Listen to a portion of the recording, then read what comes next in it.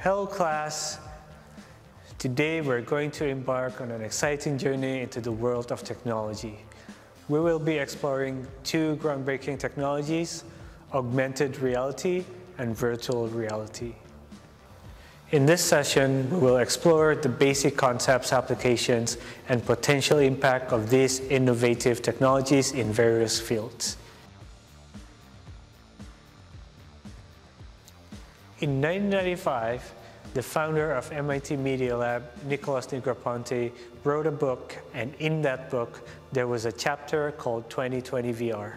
That chapter mentions the idea of VR is to deliver a sense of being present that VR can make the artificial as realistic as and even more realistic than the real. He exemplified flight and driving simulations as well as a fantasy world simulation like Jurassic Park.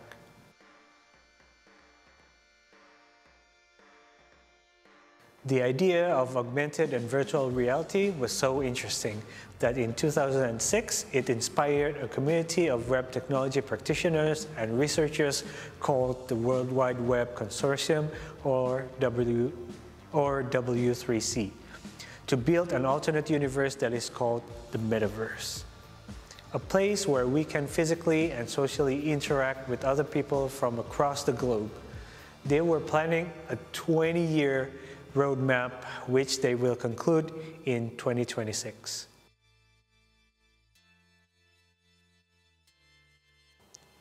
Now that we know where we are heading, let's start by understanding the fundamentals.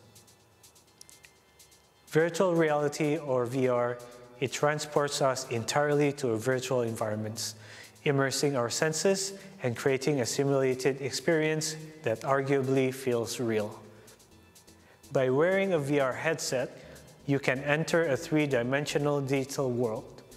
It could be a game, a training simulation, or even a virtual tour of a faraway place.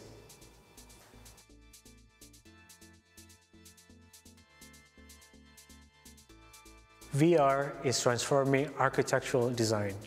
With VR, architects can create virtual walkthroughs of their designs, allowing clients to experience the proposed structures in real-scale visualizations before construction even begins. This immersive experience provides invaluable insights and enhances collaboration between architects and the clients. VR is transforming the way we train professionals, particularly in fields like medicals.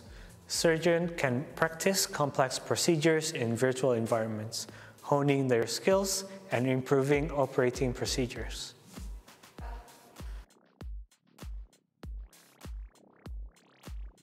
Now, let's talk about augmented reality or AR. AR overlays digital content onto the real world, enhancing our perception and interaction with our surroundings. It enriches our reality by adding digital objects, information, or interactive elements to the physical environment. But why is this important in our everyday lives? Imagine using your smartphone to view the world through an AR app. You can point it at a city street and see virtual signposts, directions, or even historical information overlaid onto buildings. This is what we can call a peephole interaction. We are seeing and interacting with augmented objects through the screen of our mobile device. Both AR and VR have limitless potential across various fields. AR is preserving and bringing history to life. Museums and heritage sites are using AR to enhance visitors' experiences by pointing their smartphone or tablets at exhibits. Visitors can access additional information, interactive display, and virtual reconstruction of making history more engaging and accessible. The future of augmented reality and virtual reality is incredibly promising. As technology advances, these technologies will become even more accessible sophisticated, and seamlessly integrated into our daily lives. The potential applications of AR and VR are expanding rapidly. With advancements in technology and increased accessibility, we can expect to see even more exciting developments in the coming years. As future professional designer, it's essential to stay updated with the latest advancements in technology. Augmented reality and virtual reality are one of them, and it is driving innovation across numerous industries. And by understanding their capabilities, we can leverage them to solve real-world challenges and shape the future. That's it for the introduction of AR and VR. I hope you will enjoy the class this semester and produce great artworks. See you again.